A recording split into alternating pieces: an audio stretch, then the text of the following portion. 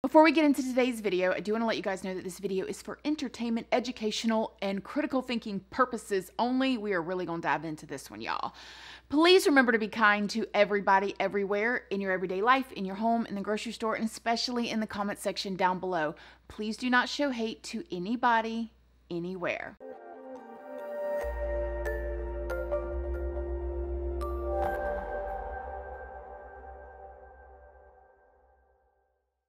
Morning, my lovelies, my beauties, my friends. My name is Christina, and welcome to my channel. If you're new here, thank you so much for clicking on this video. I really hope that you will subscribe, stick around, take a chance on hearing some things that I have to say. And if you are a returning subscriber, y'all already know, y'all are my babies. So, good morning, good morning, good morning. How is everybody doing today? I hope you all are having an amazing day. So, today we are going to be doing the very, very Today we're going to be doing the very, very highly requested Pazuzu. I have been requested to do this video on my Instagram, on my Patreon, and here. Like, I'm like, okay, you guys, I hear y'all. This is a very, very deep story. I'm going to be challenging a lot of things in this, so I hope that you guys are ready if you've already heard the story, and if you have not, buckle up regardless, okay? If you guys don't already know me, hi, my name is Christina. I do have a second channel, which is Casually Christina. I do vlogs. It's more casual over there if you're into that type of thing. I also have a Patreon. My Patreon is for 18 and up. We do some more personal story times. We go live over there. It is a good time if you're 18 and up and you would like to join. We also have a podcast as well as I have an Instagram, and all of those are always linked down in the description box if you would like to come and check me out. So, first of all, by the way, it is my birthday. Happy birthday to you. Happy birthday to you. Ding. Happy birthday to all of my other October babies out there. Every time you guys tell me it is your birthday in the comment section, if I see it and I try to see as many as I can, I like to give you guys a little shout out and happy birthday. So, happy birthday to my October babies. I am indeed 36 years old today. Woo! Working on 40. Working on 40. But, alrighty, you guys. Before we start this video, Y'all are like, oh my gosh, Christina. Ah. I really want you guys to think about who all is to blame in this story. Because when I look at this story, I see the fault lies on many different people. Okay, many, many different people, but all we hear is Pazuzu, Pazuzu, Pazuzu. So if you guys do not know who Pazuzu is, Pazuzu, he was born as John Lawson in 1978. John Lawson, who was later known as Pazuzu, was a satanic cult leader who loved animal sacrifices and murder and the power in filth. I mean, he only bathed once a year, according to what he said. And allegedly, according to him, he only brushed his teeth once a year, too. He had a lot of sick fantasies. He even filed his teeth down to sharp fangs. He split his tongue. He had tattoos all over. When he did have hair, he didn't wash it, he didn't bathe. He had tattoos on him that said things like Satan and 666. John Lawson was originally raised in San Francisco, California. Okay, now he was born to his parents and then they later divorced. They divorced in 1990 when John Lawson was just 12 years old and he stayed with his mother. Now, you don't hear a lot about his bio dad. I did read later that his bio dad actually moved back home or to a different state or whatever, and then the mom ended up just raising John Lawson herself. She did later remarry to a guy that she met in Tennessee. John Lawson at this time was 20 years old and they moved to Winston-Salem, 2749 Knob Hill Road, which is going to be later deemed the House of Horrors. A neighbor spoke up and said that she used to babysit John Lawson when he was a little kid, that he was the next door neighbor to, you know, John's mom and she was a single mom at the time and that little Johnny would come over and she said that he was always like kind of weird and he would say things, but she said he was super sweet to her.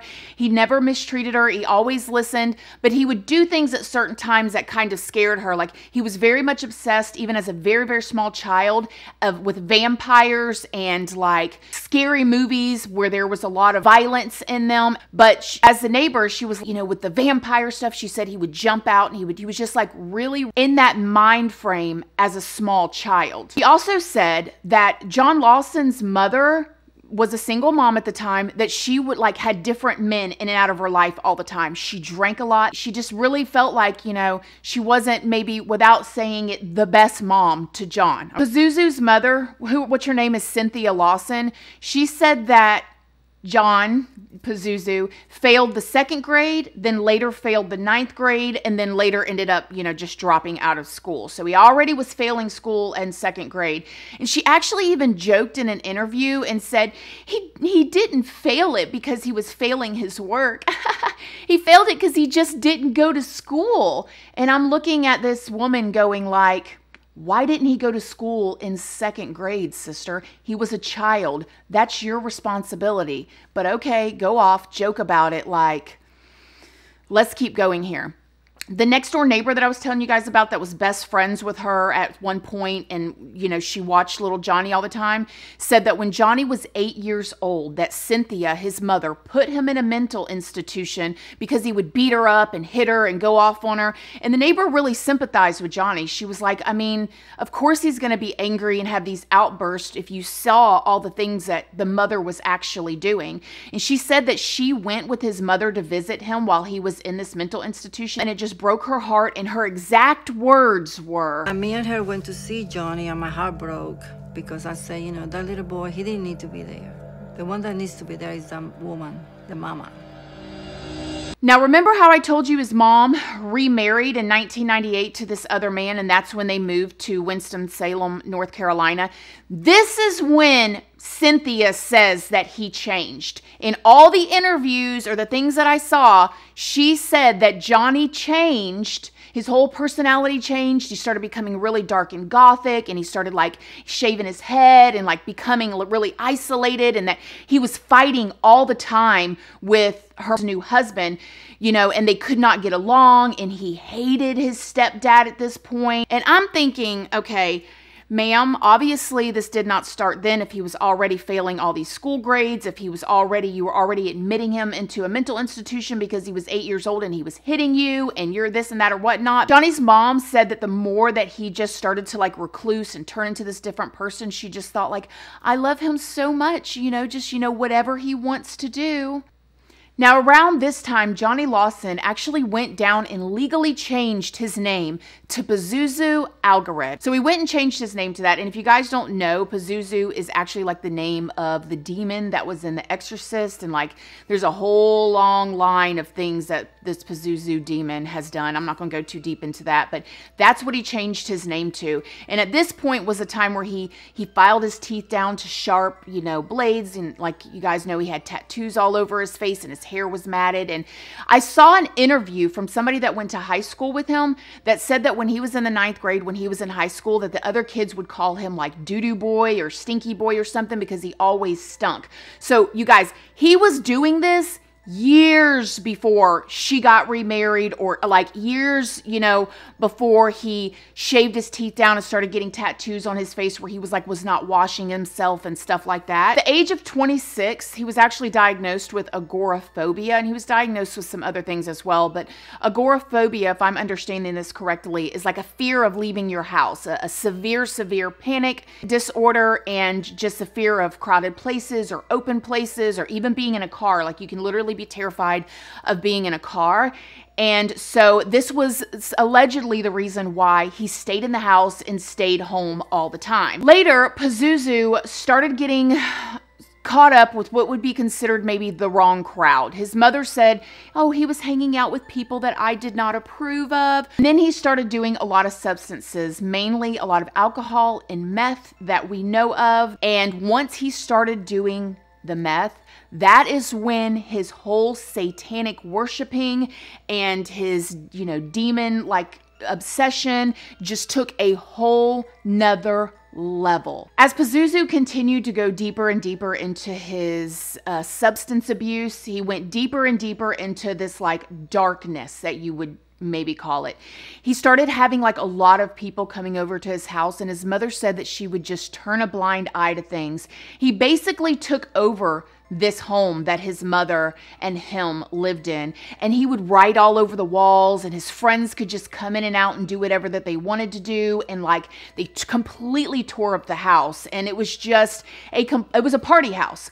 A lot of friends said certain things like, you know, this was the place for the misfits. This was the place that anybody could come, and there was no rules. You could do whatever you wanted to do. You could pee in the floor if you wanted. If you wanted to go poop in the corner, you could go poop in the corner and that the place stunk, but he always had a lot of friends there. Now, 2008, Pazuzu was arrested on larceny charges, and then later in 2011, he was arrested for choking his own mother out. From there, he went on to sacrificing animals and, you know, drinking their blood and like doing all kind of wild stuff. I saw an interview where one of his friends said that what he would do is he would sacrifice the animals to the whatever demon that he was worshiping or Satan or whatever, and he would eat the heart out and then drink the blood. I mean, it was just, oh my gosh, you guys, I know y'all don't want to know all these details details, but like it was just wild, okay? He started claiming to his friends that he could control the weather and he was doing like all this black magic. The more that he was using substances, the more that people were coming over, the more that mom was turning a blind eye,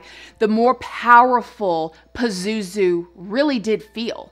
I mean, you got to imagine, he's got a house full. This was the kid that really didn't have any friends growing up. I mean, they called him doo doo boy in school or whatever the word was, poo poo head, whatever the words were, stinky boy. And now he's in this house that he's basically controlling, that his mama's obviously paying for because he didn't have no job anyways he's got his tongue split he's got his teeth you know gnawed down he's like doing all these sacrifices and like all these people are coming over they're bringing their substances his friends would say that in the actual uh, dishwasher instead of clean dishes it was full of like weapons. He had girls that really liked him, and as a matter of fact, he had two young girls that he called his fiancées. One we're going to talk about right now, who is Amber Burch. When Pazuzu met Amber Burch, she was fresh out of high school, brand new baby girl, just finished high school, and then got went over there and got caught up in this mess, y'all. Amber was nicknamed Bubbles in high school. She had a lot of friends and people that cared about her. She did not have a father figure in her life that we know of. I heard her friends say that the reason why she felt like she like attracted herself to Pazuzu is because he was like a dad. He was much older and just kind of like so wise and all of his spiritual ways. And her friends said that before long, she started noticing that Amber stopped bathing as well. She shaved her teeth down. She quit brushing her teeth. She shaved her eyebrows off. She said that Amber and Pazuzu would cut each other and drink each other's blood. Her friend said that Amber called her one day and was like, I really want you to meet Pazuzu. Like, you've got to meet him. Like, yes, he's a devil worshiper. He's, a, you know, he's a Satanist and everything, but like, he's a really cool guy. I want you to meet him. And so her friend was like, you know, sure, she was a friend from high school. She loved her. She was like, sure, great. Sounds like a winner. Like, girl, let me come over here and meet your man, right? She said when she got on the front porch. Get up there and everything was fine until I walked onto the front porch. The stench just, it was like a smack to the face. It was so strong. The house stunk so bad before she even opened the doggone door that it about knocked her off the porch. She said when she went in, she actually told Pazuzu, like, man, the smell is like overwhelming. He kind of laughed. Oh, yeah, it's just the bodies in the basement. And she said she thought he was just, you know, crazy, like he was just saying crazy stuff, but you know, I don't she did she just could not believe how much her friend had changed being with this guy. As Pazuzu continued on his path, this this stinky house and doing all these rituals and all this black magic and stuff, according to people around him, he got bored with the Church of Satan or the Satanic Church. He just, it wasn't enough to fulfill him. So he wanted to start his own thing. They started, you know, leaving and, and going different places to do, you know, rituals at nighttime, like maybe down by a river and stuff like that. And they were like, had all these like dogs in the house. Like they had alive dogs and then they had like, dead animals in their house and out in the backyard. And you guys, when they What what was the mom doing? This like I, y'all. This is people said that they would go over there and that they would they would see like a person like go over and poop in the corner and then the dog would go over there and just like eat it. Like nobody ever cleaned anything. Nobody ever did anything. People just peed everywhere. Just like oh my goodness. People walked around naked. There would be all kinds of like multiple people being in relations. It just was a complete free for all. And for some reason people in this little tiny town was attracted to that. Like nobody heard of the skating rink or like going to the mall or the movies or anything like that, but nevertheless, now there was a lot of rumors that started going around that little town that Pazuzu had killed people, that he had murdered people, that he buried them in the backyard, that he had bodies in his basements. A lot of people just thought he was crazy. Like the neighbors, like you can only imagine what the neighbors thought, right? Like holy cow you know like people were people were afraid of him and pazuzu fed off of that. Like he finally had his identity that he wanted to have. He he felt like he was you know this powerful being that could control the weather and like did all these sacrifices and people listened to him and people were attracted to him. And there was people that did interviews that said there was something about pazuzu that was very very magnetic. Now allegedly authorities were keeping an eye on pazuzu at this point. There was a 2010 arrest made in uh, connection to a murder of Joseph Chandler,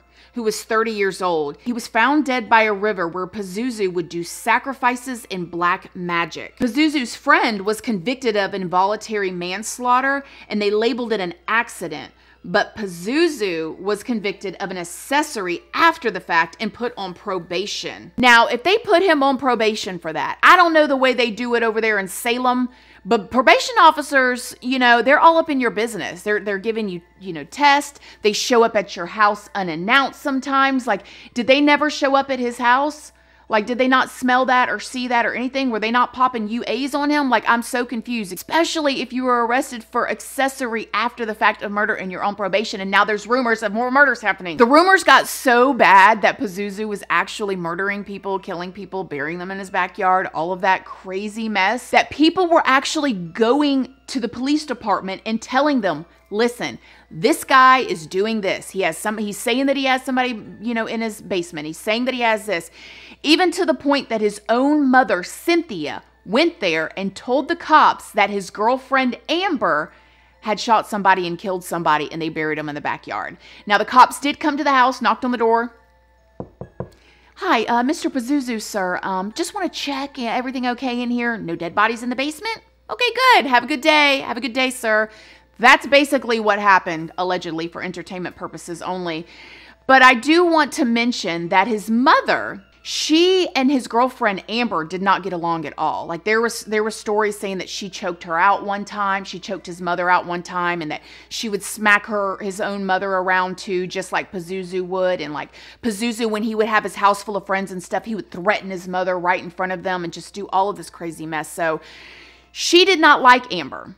So she went to the police and said that she knew that he had killed somebody, but nevertheless, they came there, they inspected, they didn't find anything, so they left. The more and more that Pazuzu was getting away with this, now you guys have to think about this, right? You have an obviously a, a very, very mentally ill man, right? That is getting away with all of this stuff maybe demon possessed for real, okay? And the more he gets away with it, the more he feels powerful. Like, yes, my sacrifices are working. Yes, the cops come here, they can't do nothing to me. So his friends and people that were coming around said that he was just getting worse and worse to the point that he was being abusive to his own friends in the household. He would let them know, like, I'm going to kill you next. Or he would be talking to his friend and say, I want you to kill this person. And it was just getting out of control that even the people that were hanging out with him were becoming terrified of him. So people kept going to the police and saying, You don't understand. This man is doing this. I've seen this happen. I've seen this happen. I've seen this happen. So the cops finally got a real search warrant. And on October 5th of 2014 at this point, a search was done and they found two sets of skeletal remains in his backyard. And like all of his friends are sitting around like, Duh, we've been trying to tell you guys this for years at this point. Now, the cops were going thinking, okay, maybe they might find one set, but they were totally shocked to find two sets of skeletal remains in his backyard. They also found lots of animal bones. They said all throughout the house there was like different animal cages and there would be dead carcasses of it in there, and that there were hundreds of flies everywhere, and there were dead flies everywhere. And like you guys, I know we're already getting real detailed and gross here, but I just, you know, I, I, I'm envisioning this. I need you to, you know what happens before the flies, right? It's maggots. Like, you got to imagine these people were living in a house full of maggots and dead body parts and pieces and feces and everything everywhere. And people are just coming in like, what's up? It's Friday. I got a, you know, I got a keg. Stepping over dead carcasses like, what? The investigators had to actually wear full suits and masks just to breathe in this home. It was so toxic. They said that when they started, before they even got up the steps, that the smell was so overpowering that it about knocked them back. Like, how were all these people partying in this house? I will never understand. That day, the cops ended up making three arrests Pazuzu, his girlfriend Amber, and his other girlfriend or two of his fiancées, Crystal. After the investigators like really checked out the bodies to find out who they were, they found out that the, they were the bones or the skeletal remains of two men that had been filed missing 5 years prior. Both of these men had been reported missing in 2009. Okay. They didn't find these body parts until 2014, you guys, after many, many reports, many, many, you know, trips from different people to the police department. Five years later, one of the bodies belonged to Tommy. Tommy was actually, according to what we know, did not even know Pazuzu. He had been with his family one day. He was like fixing this car radio, the stereo for his like friend or family member, and then he left from there and he went to walk home. He was supposed to meet his brother the next day to hang out, and he never showed up. They reported him missing right away, but they never found him. So what we think is like he was just walking down the road, and for whatever reason, he either got in the car with Pazuzu, maybe offered a ride, whatever, or they just snatched him him, did whatever, maybe whatever, and they got him. And then they sacrificed him, dismembered his body, buried him in a shallow grave in the backyard. The other remains that were found belonged to Joshua Wetzler. Now, Joshua Wetzler was a young father. He had been with his girlfriend for a long time, but he ended up falling into some trouble. He got, you know, started using substances, became addicted, got into some trouble with the law, and was struggling and having a hard time in that way. And that's how he got linked up with Pazuzu, was down that lifestyle. Now, we don't know exactly what all happened between them and why that Pazuzu ended up killing him, but allegedly Pazuzu shot him and put his body in his basement for days. And then ended up him and his girlfriends or whoever dismembering the body, doing whatever, and then burying it in a shallow grave in the backyard. Josh's girlfriend actually did not report him missing for six months afterwards. Now, she said this because he was on probation. She did not want to get him in trouble. She knew that he was already struggling with substance abuse and stuff, and she just did not want to, you know, make it an issue if it wasn't an issue. But when he did not come around or call for Christmas, knowing that she had his son and that he would never miss Christmas, that's when she really knew something was wrong. So she reported him missing six months later, which is neither here nor there because they ended up not finding him until until five years later. So, what happened to everybody after this? Well, the three went to court. Amber ended up taking a plea deal and she immediately turned state's evidence against Pazuzu. She got 39 years for the murder and she admitted to the murder of Tommy and then helping Pazuzu with everything else. Now, Crystal Crystal actually only got like three years. She was only charged with accessory after the fact for helping to bury the bodies, which I thought was very, very interesting. I could not find very much on Crystal on exactly why she got that little bit of time with with as much as happened and how high profile this is. I did see her after her sentencing. She turned around and she apologized to the family members. Did not look from what I saw like the family members was having any of that. I saw somebody roll their eyes. I don't know if that was the editing process of the journalist, but it's what it looked like. She apologized. She said she was only involved in it because she was afraid for her life. I would, and now I know she rolled too. I know she told everything because for her to get three years, she had to have just let it all out. But I think some, I, I really want to know more. You can't hardly find anything on her, and there's got to be a reason why. There's got to be a reason why. Now, Pazuzu. He admitted to shooting and killing Josh. He was calling and writing his mom from the jail, and like she disturbed me. I watched some videos with the mom, and like he was like writing her and saying things like, He always said mom, of course. And which means what's up in Arabic. And he says, I'm so bored. Got a letter from you and one from Amber. I despise the human race. People are ugly and pointless creatures. I sit back and watch them and they anger me. I should get a medal for murdering these stupid. Maybe when I'm dead, the gods of chaos shall grant me the power. and she just laughed about it. Like, I'm like, how is this funny? I understand a mother's love, but at the same time, girlfriend, you do need, she needs some help. She needs some help herself because I didn't find anything about that funny. It was very, very disturbing to watch. While Pazuzu was in jail, and I could only imagine what the correctional officers saw with him in there. I'm telling you guys, I you guys know I've been to jail, I've been to prison, and I've seen some things. Y'all watched my story times, but I can only imagine what they saw.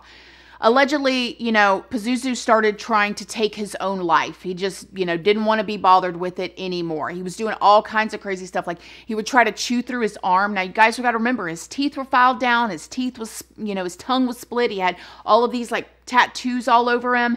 And, but he would according to other people in the jail, he would try to chew through his arm or do all this wild stuff during a full moon. How did he even know it was a full moon in jail? Like, is was he possessed? Was he possessed for real? From from a from the get-go, from a little kid obsessed with being a vampire and all of this? I don't know. At one point he cut himself really bad with an unknown object and supposedly according to the correction officers they could not find the object, but they had him in an 8 by 10 cell alone. And what did he do with the object that he cut himself with? Like they just could not figure it out. So eventually the jail just decided like, look, we don't have what it takes to take care of this man. He's doing all of this wild stuff. So they transferred him somewhere else. At this point, what ended up happening was he did take his own life. Now, supposedly, he chewed through his arm enough to take his own life and he bled out and then he died. Now, so I told you guys that his girlfriend Amber got 39 years. His other girlfriend, Crystal, she got three years. She actually got out just like a year or two ago, and so she is out now. I did see some journalists say things like, wow, Amber and Crystal's appearance changed so much. I don't know why it changed. I can tell you why it changed. They were on substances in that house, okay? They got in jail. They're eating all that bread and food and like I could I could not imagine what it was like for them to, especially, okay? Because it's one thing when you're in a dark house and you're like doing all this stuff and you're on so many substances that you're tweaked out of your mind and you're not in touch with reality and you're thinking all of this crazy, crazy mess, and then you get in jail and boom, you're sober. Skirt! And you realize what you've done, and there's no taking it back. You guys know if you've watched my prison videos, the mind torture of me, I could not imagine. Like, and I've seen that. I've seen people detox in there, and it's just wild. Another thing I want to talk about. So Pazuzu was 37 years old, living with his mother and doing all of this stuff in the house. Now, no judgment to you if you are 37, 40, or whatever, living with your mom. Okay. Like my kids, as long as they're doing the right thing, they could live with me forever if they want to. They don't ever have to, if they want to. Of course, I want them to be their own adults and live their own life and be happy and all of that stuff. But like, if they wanted to, if they were going to work and, you know, they were working on their dreams and they're not, you know, like my kids will always have a place at home if they need it, right? But I ain't letting my kids come live up in my house, tear my house up, tell me what to do, choke me, stink and poop and do all that. No, baby, you got to get out. You have got to get out. You poop in my living room floor one time, baby, you got to go. Okay? I don't understand it.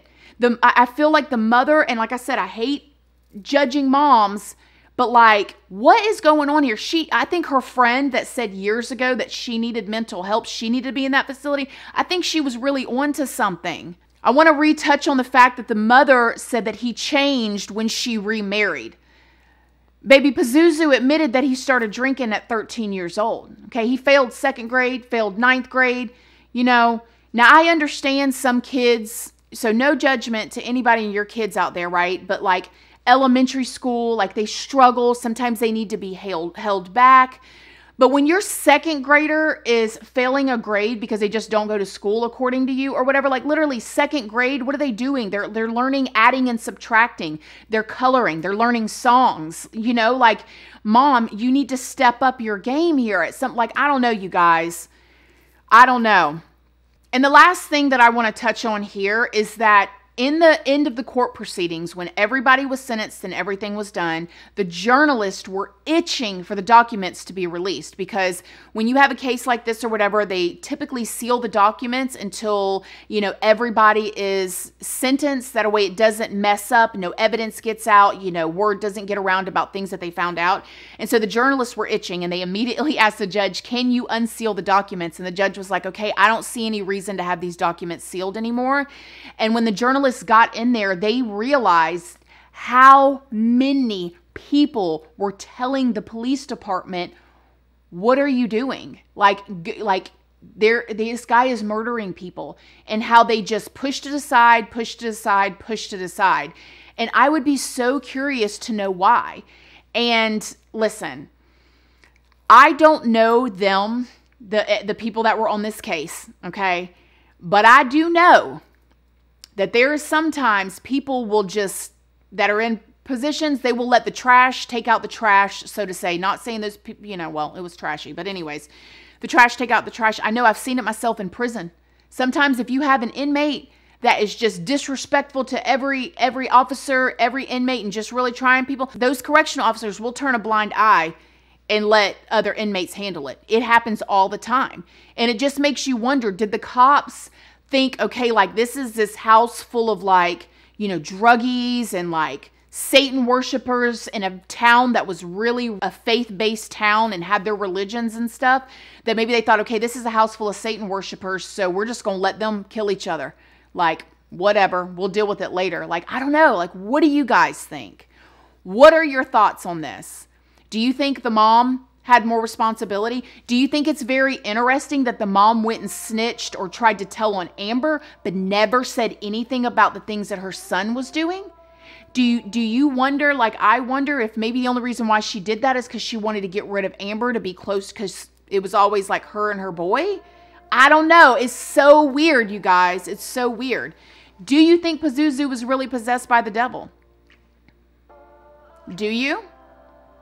I don't know. What do you guys think? So, all right, my loves, there is that story. You guys feel free to leave any other ones down in the comments section. I do read them and I will be doing another true crime video next Friday for you guys.